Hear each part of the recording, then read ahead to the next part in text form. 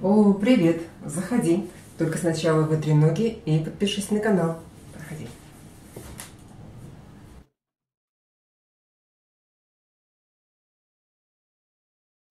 Я уже очень-очень много раз сталкивалась с такой ситуацией, когда человек приходит ко мне на консультацию или просто пишет мне в личку, Бая, ну что делать? Я хочу проходить курсы условного голодания, я хочу очищать свой организм, но я каждый раз срываюсь.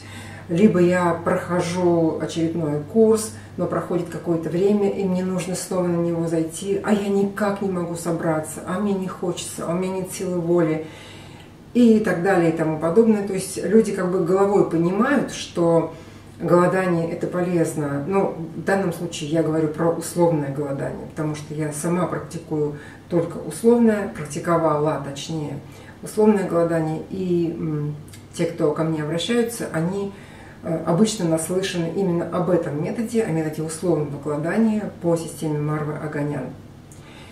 Э, люди, которые ко мне обращаются, э, очень часто жалуются на то, что у них это не может никак войти в систему. То есть они понимают, что это полезно, что это их оздоравливает, но никак не получается войти в систему.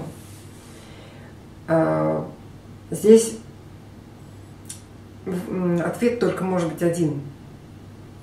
А если человек всю жизнь питался э, самым традиционным образом, если он имеет совершенно загрязненный кишечник, то ему очень трудно совершать вот это мероприятие под названием условное голодание, потому что у него э, возникает много самых различных неприятных эффектов, которыми обычно сопровождается э, курс условного голодания.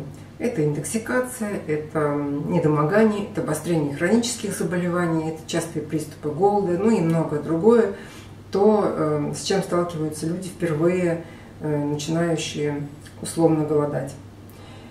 Ответ только один. А, не надо начинать условное голодание резко. Вот так с бухты-барахты из традиционного питания вдруг раз и сразу переходить на длительный курс условного голодания. Делать этого не нужно. Нужно прежде всего приучить себя к этому постепенно. Приучать свой организм с помощью разгрузочных дней, с помощью облегченного питания, с помощью Э, постов, э, временных отказов там, от животного белка и так далее. То есть есть много различных подходов, э, конечно же, каждый раз индивидуальных к разным людям в зависимости от того, какой у них склад, какой у них привычки в питании, какие у них заболевания. Есть много подходов, которые помогают человеку постепенно приучать свой организм к такому замечательному оздоровительному мероприятию, как условное голодание. Поэтому, пожалуйста, не бросайтесь в омут с головой, э, жалейте себя, щадите себя и делайте все для того, чтобы ваш организм плавно входил в новое состояние. И тогда вам и сам курс условного голодания будет даваться легче, и будет меньше неприятных э, побочных явлений, и каждый раз, когда вы задумаетесь снова пройти э, свой очередной курс очищения, вам очень легко будет собраться, и даже силы воли не потребуется.